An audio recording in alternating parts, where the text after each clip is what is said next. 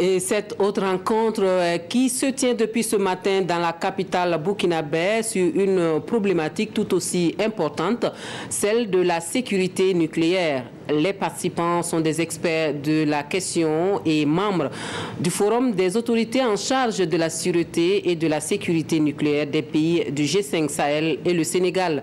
La menace du terrorisme nucléaire est une réalité à prendre en compte et il faut conjuguer les moyens pour développer un régime de sécurité nucléaire. Les précisions avec Issa Kafando et Mounir Akeri. La menace nucléaire sur les pays du G5 Sahel est réelle et actuelle, voire même grandissante. Il est temps de renforcer la coopération des pays membres pour lutter efficacement contre le trafic illicite des matières radioactives, d'où la création du Forum des autorités en charge de la sûreté et de la sécurité nucléaire des pays du G5 Sahel et du Sénégal. La guerre se fait maintenant dans des bas-fonds et quelquefois dans une chambre, deux personnes se décident et peuvent créer l'événement. Donc il faudrait essayer de contrôler les mouvements des matières nucléaires. On peut en trouver partout, même dans les hôpitaux, les déchets, tout cela, ça peut servir. À l'intérieur de nos pays, comme à l'extérieur de nos pays, à nos frontières, comment contrôler de façon réglementaire les mouvements de ces sources.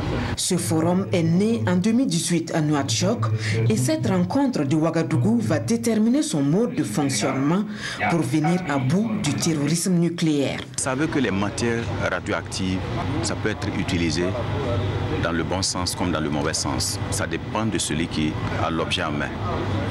Et l'intérêt aujourd'hui, c'est de réunir l'ensemble des acteurs, qu'on puisse se parler, qu'on puisse se donner une feuille de route. En un mot, qu'on se fixe un canevas.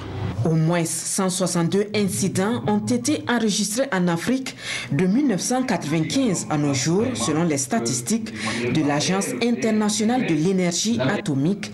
Et les États sont invités à intensifier le contrôle des mouvements des matières nucléaires et radioactives pour une meilleure sécurité nucléaire dans les pays du G5 Sahel et le Sénégal.